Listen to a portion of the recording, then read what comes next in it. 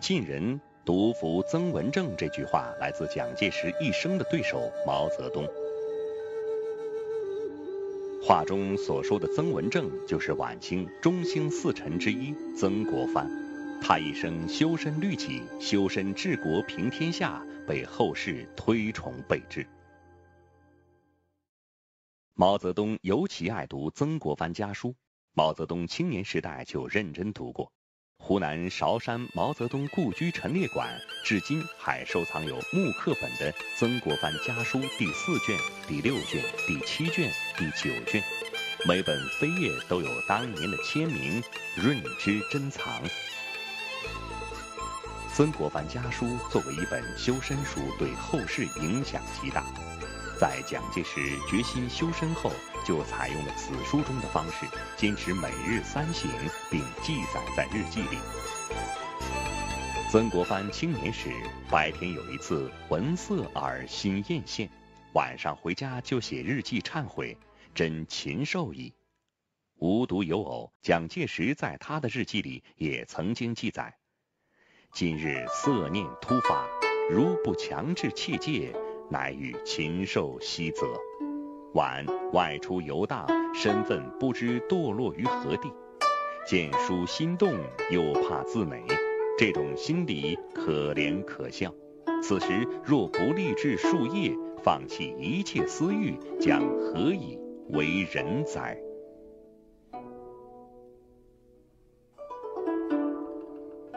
蒋介石和曾国藩有很多相似之处。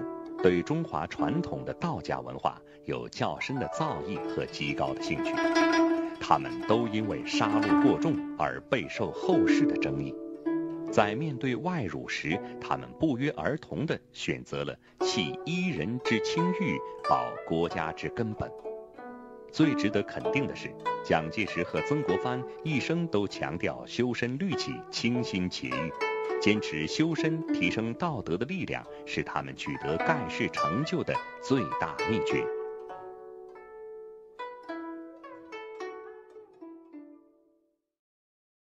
蒋介石日记一出版，就引起了举世关注，大陆掀起了研究蒋介石日记的热潮。的内心是光明的。大陆出版的这两本解读蒋介石日记的书，对这一点都予以了认可。杨天石先生高度评价了蒋介石日记，蒋介石日记具有很高的史料价值，足以改写中国近代史。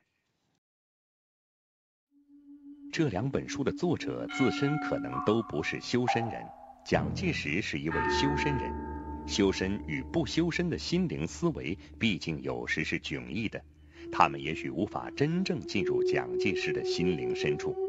因此很难将一位修身者的日记真正研究透彻。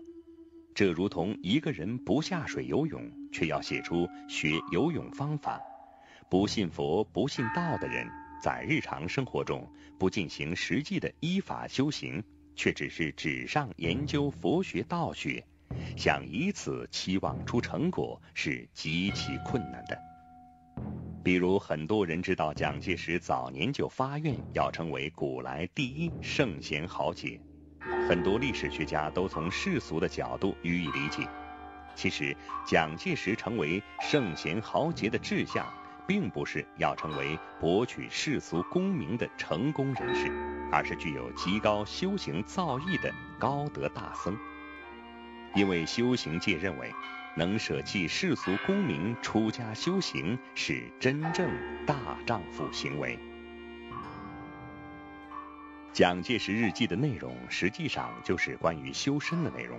他的日记不仅为中国留下了宝贵的史料，还是一部个人修身的好教材，更是一部中华民族道德复兴手册。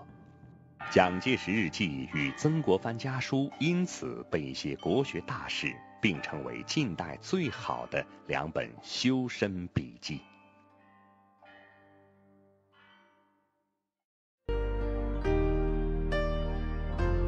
我们中国的大中学生大半是要求生活舒服，对衣食住行固然要满怀奢望，并且还要去跳舞、去赌博。去做种种不合理而无意的堕落勾当，毫不知勤俭上进，所以毕业就是失业。